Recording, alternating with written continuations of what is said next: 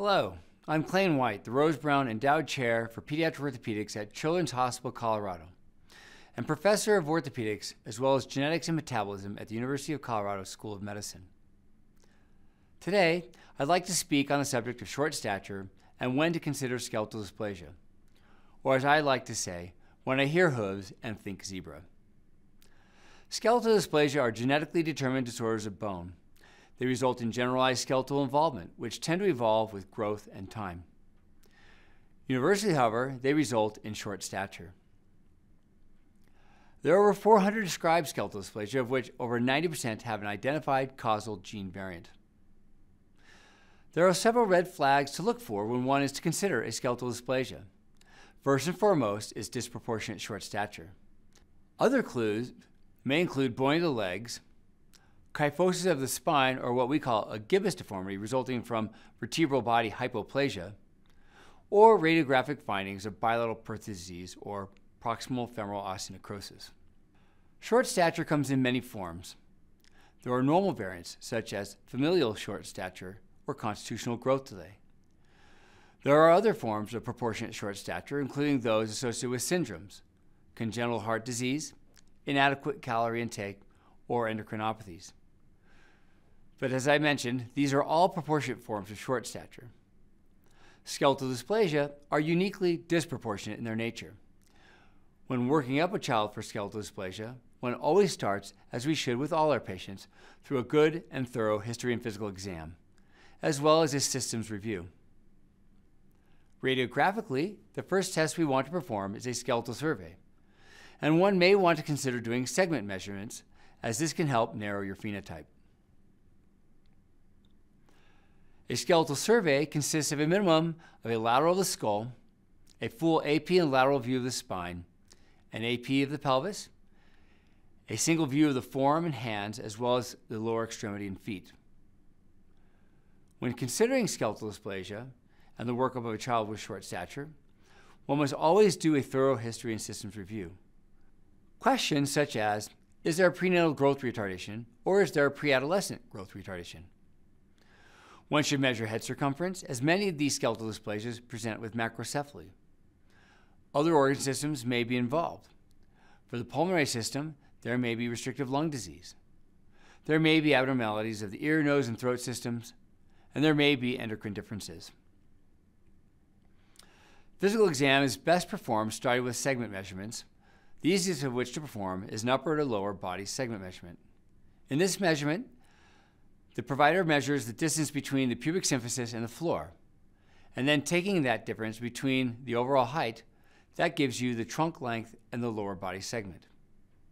In infants, this is generally a ratio of 1.7, meaning that the child has much more trunk length than lower extremity length. In the adult, however, this becomes a 1 to 1 ratio. So when examining this parameter, beware that upper to lower body ratios are different as the child grows and matures.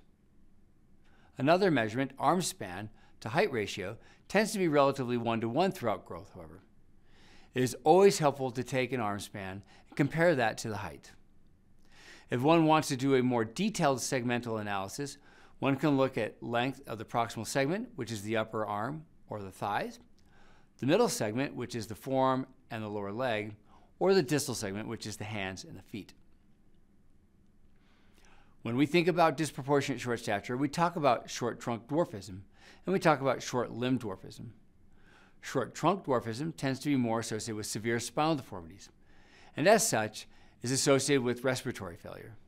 Examples of this include Morquio syndrome, spondyloepiphyseal dysplasia congenita, and metatropic dysplasia. The short limb disorders include the most common form of skeletal dysplasia, achondroplasia, and its more mild variant, hypochondroplasia. Less common forms of short limb dwarfism include diastrophic dysplasia and pseudoachondroplasia. The mesomelic disorders are generally less common and involve SHOX gene abnormalities. Turner syndrome, in which one of the X chromosomes is missing entirely, and therefore missing one of the alleles of the SHOX gene, is the most common form of short limbed mesomelia. Léri-Weill dyschondrosteosis is a gene variant in which the SHOX gene is mutated but presents in both alleles. Finally, The least common form of dwarfism is acromelic short limb disorders.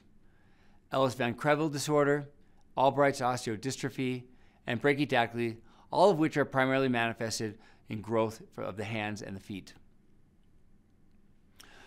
So, when would one want to refer for evaluation of skeletal dysplasia, either for clinical evaluation or genetic testing? Clearly, if a child has a skeletal dysplasia that has not been identified molecularly, that would be a reason to refer. However, in the examples we are speaking about today, the previously undiagnosed form of short stature, one would want to look for the red flags that were mentioned previously. Again, this would include disproportionate short stature, bilateral hip osteonecrosis or Perthes disease, or vertebral abnormalities which result in lumbar gibbus spinal deformity. Skeletal dysplasia testing strategies vary, but oftentimes, at least in our hands, one would start with a urine substrate analysis to make sure that there is no glycosaminoglycan or GAG accumulation in order to identify a mucopolysaccharidosis. These are treatable disorders, and test results can come back pretty quickly using this strategy. One must be aware of false negatives, however, in this disorder, in mild forms of the disease and later presenting forms of short stature. The workhorse of diagnostics at this point, however, is molecular gene panel testing. Gene panels represent a molecular diagnostic group of genes including anywhere between 10 and hundreds of genes, which represent a group of phenotypes that are similar in their presentation. These panels are good for picking up single gene variants, but limit the number of uncertain results that one might obtain as compared to an exome sequence. There are still incidental findings that one must be prepared to answer and deal with, however. Whole exome sequencing, on the other hand, is very popular nowadays, but presents with a number of challenges. While it's very powerful, it actually analyzes all known genes in the human genome, about 20,000 of them. But with this increase in the number of genes examined, has a much higher incidence of secondary incidental findings, which one must be able to be prepared to contend with. Because of this, one must expect variants of unknown significance and be prepared to offer genetic counseling. With that said, it is detailed enough to pick up single gene variants in patients who do have a skeletal dysplasia and can be useful in that regard. So, things to consider before genetic testing, or at least before referral, are is there a family history? Are there inheritance clues to narrow down the possible diagnoses? What is your differential diagnosis?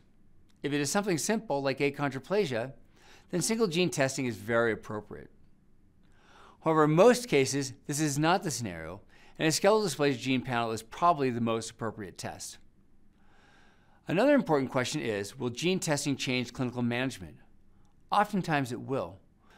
One must be prepared for surveillance needs, such as patients with type 2 collagenopathies, who have a high risk for retinal detachment and need to be followed regularly by an ophthalmologist. But there are many other findings in skeletal dysplasia that we must be prepared to contend with, such as respiratory differences or ear, nose, and throat differences. One must consider can a diagnosis be made by other means?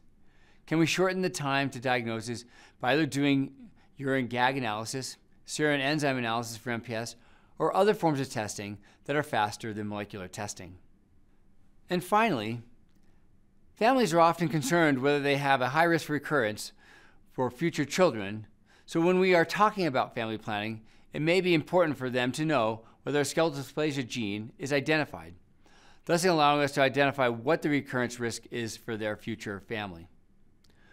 Most importantly, one must know is the family informed and interested? Because this can be a very arduous and psychologically taxing road to embark upon if the family is not truly informed and interested. So, in summary, skeletal dysplasia result from genetically determined changes in bone development.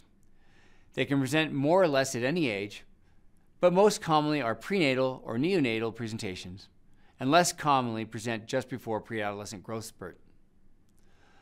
The red flags to consider for skeletal dysplasia include, most importantly, disproportionate short stature. But the presence of bilateral Perthes disease or thoracolumbar gibbus deformity are also highly important. Physical exam and skeletal survey are critical to narrowing the diagnosis and help guide the diagnostic testing, which at this point includes, most importantly, a gene panel for skeletal dysplasia, but may include urine substrate analysis or enzyme testing. I appreciate your time and attention. If you have any further questions about this video or any of our other videos, or if you'd like to refer a patient to our Orthopedic Institute at Children's Hospital Colorado, please feel free to refer to the information on your screen.